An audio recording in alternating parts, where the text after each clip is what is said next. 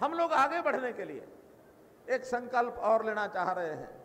और वो संकल्प ये है कि राजनीतिक तौर पर कुछ पार्टियों ने हमारे समाज के अंदर भेदभाव खड़े कर दिए।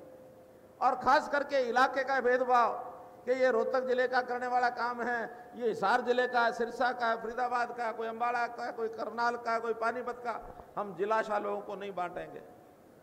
और ना हम जातियों के हिसाब से बंटने देंगे।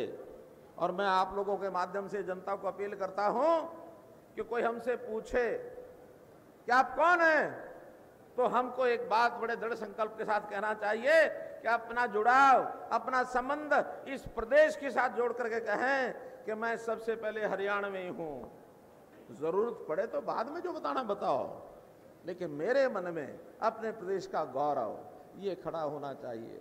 और यदि प्रदेश का गौरव खड़ा करेंगे तो आसपास के प्रदेशों में आगे बढ़ने की होड़ ये अपने मन में आनी चाहिए, ये हमारे समाज के, हमारे वोटर के मन में आनी चाहिए।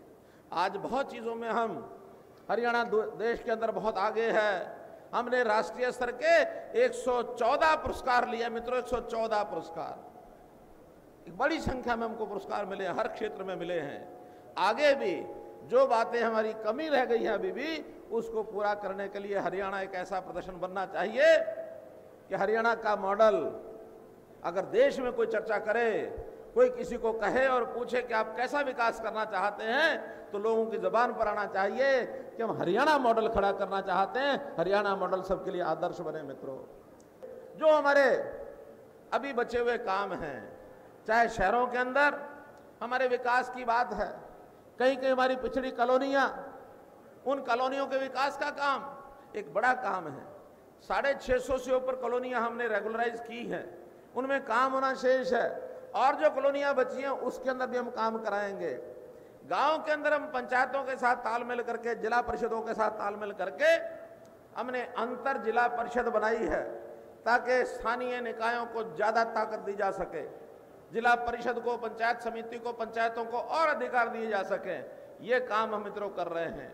इसी प्रकार गाँव गाँव को इंटरनेट से जोड़ने के लिए हमने लाइनें बिछवा दी हैं फाइबर की, ताकि दूर दराज बैठा हुआ एक हमारा नौजवान आज उसको ज़रूरत है।